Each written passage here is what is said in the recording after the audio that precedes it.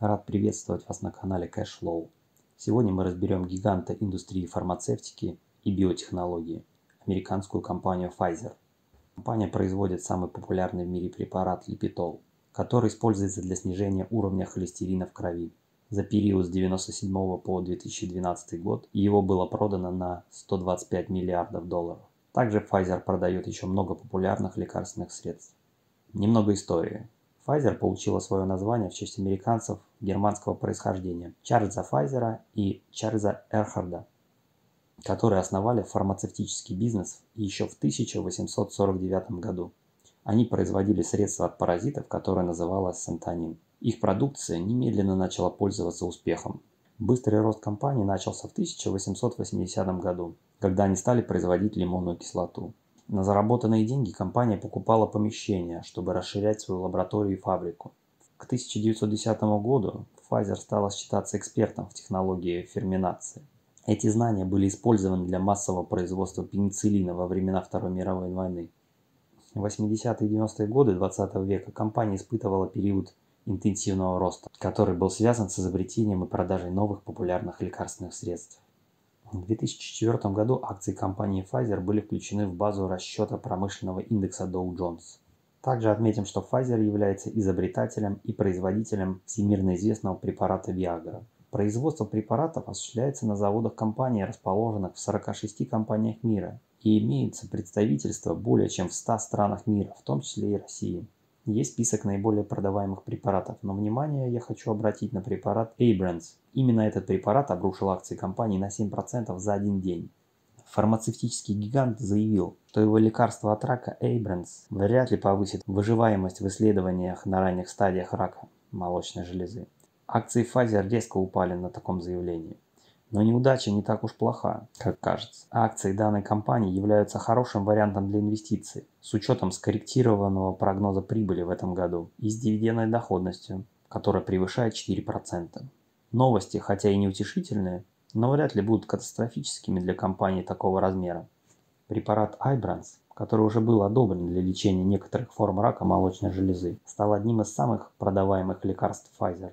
Общий объем продаж в 2019 году приблизился к 5 миллиардам долларов. Успех в лечении пациентов с Ibrance на ранней стадии в качестве вспомогательной терапии мог привести к дополнительным доходам в миллиарды долларов. Но данный препарат оказался по факту неэффективным. Что ж, давайте перейдем на сайт Simple Wall Street и проанализируем фундаментальные показатели компании.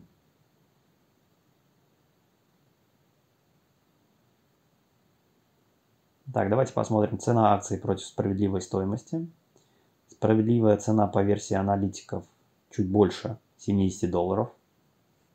Мультипликатор P на E, стоимость акций к прибыли, показывает, за сколько лет окупятся ваши вложения в акции компании.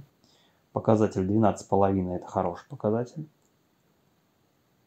По рынку 15, промышленность чуть больше 16. Мультипликатор PEG Сопоставление цены акций с прибылью на акции и ожидаемой прибыли компании. PEC равен 2. Будущий рост доходов компании Pfizer 6,1%. Это прогнозный. Понятно, что в 2021 году будет небольшая просадка по доходу, а далее идет плавное восстановление. Прогноз прибыли на акции. Также видим, что начнется в 2021 году небольшой рост.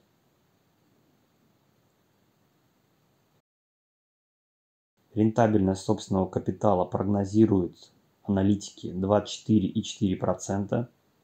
Это достаточно неплохо.